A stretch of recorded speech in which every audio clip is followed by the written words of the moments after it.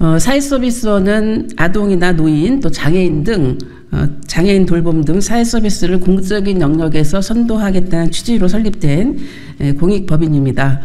아, 그런데 윤석열 정부가 들어서면서 아, 국가의 공공 돌봄 시스템이 지금 무너져 내리고 있습니다.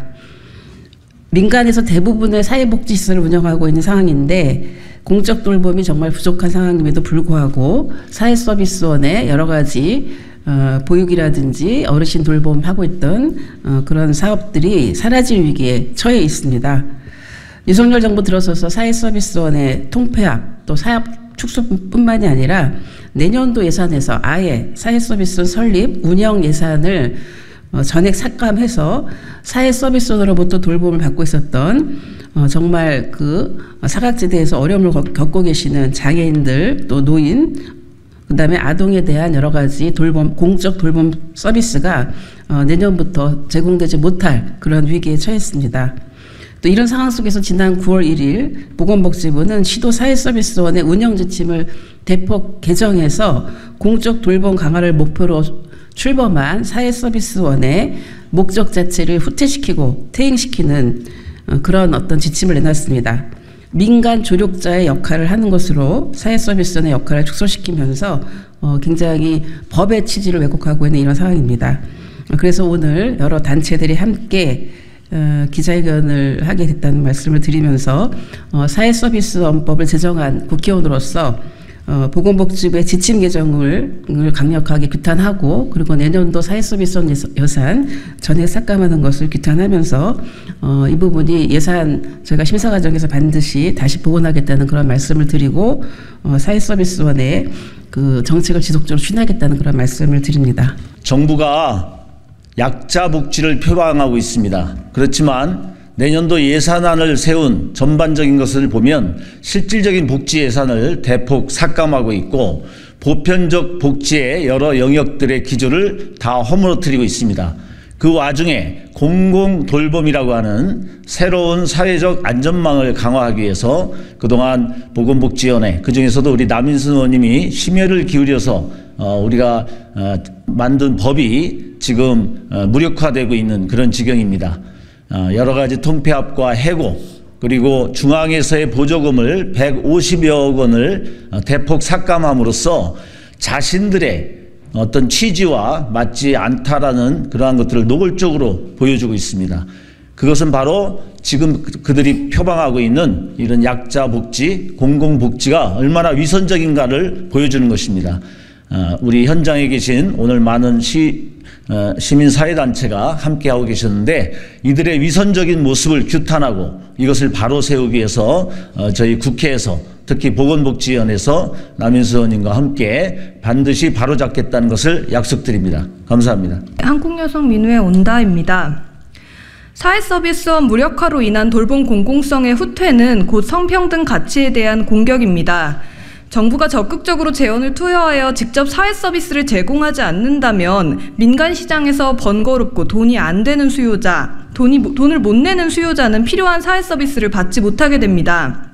그러면 돌봄은 가족, 개인에 맡겨질 수밖에 없고 이 사회의 불평등한 성별 분업 구조는 결국 가족 내 여성이 돌봄을 떠맡도록 할 것이기 때문입니다. 가령 지난 코로나19 확산 사태에서 각 지자체 사회서비스원이 긴급 돌봄을 제공하지 않았다면 더 많은 여성이 돌봄을 위해 일을 그만두어야 했을 것입니다. 정부 보조금 예산이 영원이 되면 과연 사회서비스원이 이런 필수 서비스를 적시적소에 제공할 수 있겠습니까? 사회서비스원 운영팀 개정으로 인해 돌봄 노동자의 노동 조건이 악화하면 가장 크게 타격을 입는 이들도 여성 노동자일 겁니다. 돌봄은 여성의 몫이라는 성차별적 통념으로 인해 사회 서비스는 여성 노동자의 비율이 압도적으로 높은 노동 영역입니다.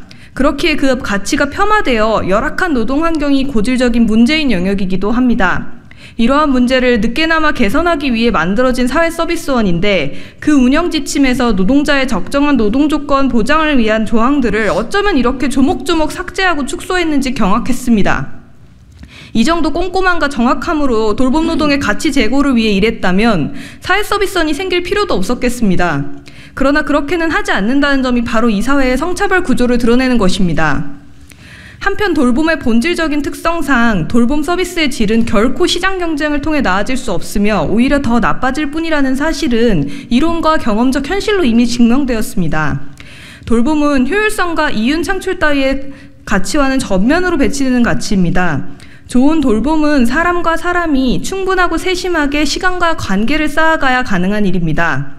자본이 돌보는 사람과 돌봄 받는 사람 모두를 돈벌이 수단으로만 삼는다면 그것이 어떻게 가능하겠습니까?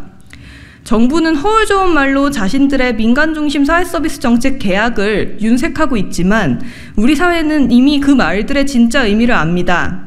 인건비 절감 때문에 최소한의 생계와 안전도 보장받지 못하는 돌봄 노동자가 결국 일을 그만두게 된다면 그의 경험에 쌓여있던 돌봄 대상에 대한 지식과 친밀한 관계들은 사라져버립니다.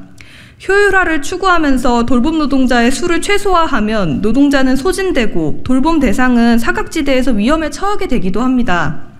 기술 혁신이라는 명목 아래 돌봄이 필요한 사람들이 나를 알고 직접 만나는 사람이 아니라 나를 데이터와 사례로 관리하는 AI하고만 대화를 나누게 될지도 모르지요.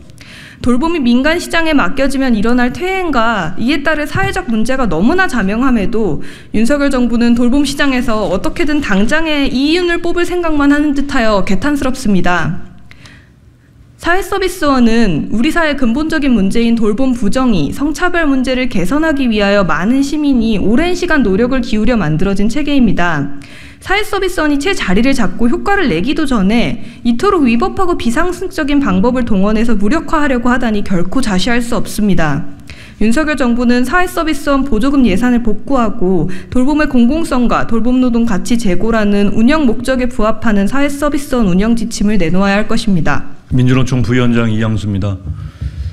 윤석열 정권이 들어서서 어, 민주주의도 평화도 어, 모든 게 지금 파괴되고 있는 상황인데 윤석열 정권의 악행 중에서 어, 제가 생각하기에는 이 지금 사회서비스원 예산 삭감 같은 복지 정책의 후퇴 무력화가 가장 나쁜 짓이라고 생각을 합니다. 어, 앞에서도 말씀해 주셨지만 국민들이 그나마 기대어서 살 수 있는 그런 제도 자체를 없애려고 하고 있고요. 또 하나 저희가 얘기하고 싶은 것은 어, 거기에서 일하고 있는 노동자들의 에, 인생, 미래, 삶에 대해서는 어, 안중에도 없다는 것입니다. 사회서비스원에는 노동조합이 있습니다. 그리고 어, 사회서비스를 제공하기 위해서 열심히 일하는 노동자들이 있습니다. 최소한 그들의 삶에 인생에 결정적인 영향을 주는 정책을 만들기 위해서는 어, 노동자들과 의논하고 노동자들을 설득하고 노동자들의 삶에 대한 전망을 제시해 줘야 합니다. 어, 이런 것들은 이제 아무것도 없습니다. 그저 밀어붙이기만 할 것입니다. 우리는 이런 측면에서 윤석열 정권의 이번 어, 예산 삭감에 대해서 어, 규탄하고 절대 국민들을 위해서 또 우리 노동자들의 삶을 위해서 물러나지 않을 것이라는 것을 밝혀둡니다. 다시 한번 윤석열 정권의 이러한 악행에 대해서 강력하게 규탄 드리고요. 국회에서라도 이러한 악행이 바로 잡혀서 국민들과 노동자들이 모두 함께 안심하고 살 수 있는 그런 나라가 되기를 바라겠습니다. 민주노총도 끝까지 이 문제 해결을 위해서 함께 하겠습니다. 고맙습니다. 참여연대 사회복지위원장 맡고 있는 서울여자대학교 사회복지학과 교수 김진석입니다. 윤석열 정부 출범 채 2년이 지나지 않아서 음, 사회서비스원이 조직과 정책 모두에서 위기를 맞고 있습니다. 윤석열 정부는 복지정책의 주요한 방향으로 약자 복지와 사회 서비스 고도화를 내세우고 있지만 어, 사회 서비스 원 정책은 이 둘 중 어디에도 포함되지 않는 것으로 보입니다. 사회 서비스 원 설립과 운영의 근거법인 사회 서비스 원법 제1조는 사회 서비스의 공공성, 전문성 및 투명성 제고, 사회 서비스 이를 통해서 사회 서비스를 강화하고 사회 서비스와 사회 서비스 관련 일자리의 질을 높여 국민의 복지 증진에 이배하지 않은 것을 목적으로 사회서비스원을 설립 및 운영한다고 규정하고 있습니다. 사회 서비스의 강화, 사회 서비스의 질적 제고와 관련 일자리 질의 제고, 그리고 이를 통한 국민의 복지 증진이 사회 서비스 원과 사회 서비스 정책의 목표인데 어, 이러한 조직과 정책을 지우는 것이 이 정부의 복지 정책의 방향이라면 약자 복지와 사회 서비스 고도화는 대체 무엇을 향하고 있는지 무엇을 통해 이룰 수 있는지 의심스러울 따름입니다. 사회서비스원이 어떤 조직입니까? 어, 그동안 개인과 가족의 책임으로만 여겨진 돌봄을 당연한 국, 시민의 권리로 인식하고 국가와 지자체가 양질의 돌봄을 직접 제공하겠다는 공공 돌봄 책임의 의지를 담은 제도적인 도구입니다. 무슨 이유에서든 이와 같은 사회서비스원과 정책을 무위로 돌리려는 시도는 주민의 삶을 책임지고 주민에게 양질의 서비스를 제공하라는 공적 책임을 부정하는 행위에 다름 아닙니다. 이와 같은 일련의 조치로 인해서 사회서비스원으로부터 사회서비스를 받아오던 수많은 주민들의 고통 그리고 사회서비스원에 종사하는 돌봄 노동자들의 일상의 파괴를 생각한다면 이렇게 무책임하게 지난 정부의 지난 정부의 실적 지우기에 열을 올릴 수는 없는 일입니다. 직전 정부의 흔적 지우기가 돌봄에 대한 주민의 권리보다 더 중요하단 말입니까? 주민의 돌봄을 국가가 책임진다는 철학은 정권이 바뀐다고 손바닥 뒤집듯 바뀌어서는 안 됩니다. 존엄한 돌봄을 받을 주민 권리의 보장은 국가와 지방자치단체가 끝까지 지켜내야 될 책무이자 가치임을 유념해야 할 것입니다. 그럼에도 불구하고 이 정부의 사회서비스원 정책 지우기가 도를 넘어서고 있습니다. 중앙정부가 보내는 신호에 민감하게 반응한 일부 지자체는 급기야 설립 및 운영을 시작한 지 채 3년도 되지 않은 지역 사회서비스원을 다른 기관 및 조직과 통폐합하거나 심지어 폐지하라는 시도를 해왔습니다. 바뀐 정부는 시작부터 사회서비스원을 흔들어대고 있습니다. 법과 제도의 취지에도 불구하고 중앙사회서비스원을 원의 역할과 책임을 민간사회서비스 제공기관에 대한 지원을 중심에 두는 식으로 자의적으로 규정하고 해석했습니다. 급기야 시도 사회서비스원 운영지침 개정을 통해서 사회서비스 공공성 강화라는 정책 목표에 역행하는 운영 방안을 제시했는데 이는 현행 사회서비스원 법에도 위반되는 행위입니다. 종사자의 노동조건 제고를 위한 공공의 책임을 명시한 문구를 삭제했으며 서비스 공급 체계와 전달 체계를 민간 중심으로 재편하고자 하는 정책 의도를 노골적으로 드러냈습니다. 사실상 사회서비스원이 공공사회서비스 직접 제공 기관에서 민간기관 컨설팅 기관으로 탈바꿈한 모양입니다. 정부와 여당은 최근 사회서비스원 정책의 정책 목표를 부인하는 수준의 사회서비스원법 개정안을 제출한 바 있으며 이를 이와는 별도로 사실상 사회서비스의 사회서비스 민간 사업화의 내용을 담은 사회서비스원 진흥법 제정을 추진하고 있습니다. 이 두 개의 법안은 이 정부가 내세우는 사회서비스 고도화의 내용이 사회서비스 산업화에 있음을 그리고 이를 추진하는 과정에서 보건복지부는 보건복지부 보건복지 산업부로 전환할 것을 선언하는 내용이라 해도 과언이 아닙니다. 예산을 무기로 사회서비스원을 흔들고 있습니다. 서울시는 터무니없는 수준의 예산 삭감으로 종사 노동자들의 급여를 지급하기도 어려운 지경에 이르는 파행을 저지르고 있습니다. 파행적인 예산 삭감은 지자체만의 문제가 아닙니다. 급기야 지난 8월 기재부는 복지부가 편성한 사회서비스원 운영 예산 중 지자체 보조금 전액을 국회 제출 예산안에서 삭제하는 작태를 보인 바 있습니다. 윤석열 정부의 여당, 정부와 여당은 사회서비스원 정책 지우기를 당장 멈출 것을 요구합니다. 사회서비스원뿐만 아니라 사회서비스원 정책 전반에 걸쳐서 산업화, 영리화, 시장화를 추구하는 모든 시도를 당장 중단할 것을 촉구합니다. 주민 모두가 존엄한 삶을 누릴 헌법적 권리의 보장, 그 권리를 보장하기 위한 공공책임 돌봄의 시대적 요구마저 지울 수는 없습니다. 예, 한국노총 안민국장입니다. 짧게 낭독하도록 하겠습니다. 윤석열 정부가 사회서비스원을 지우고 사회서비스에서 공공성을 없애고 있습니다.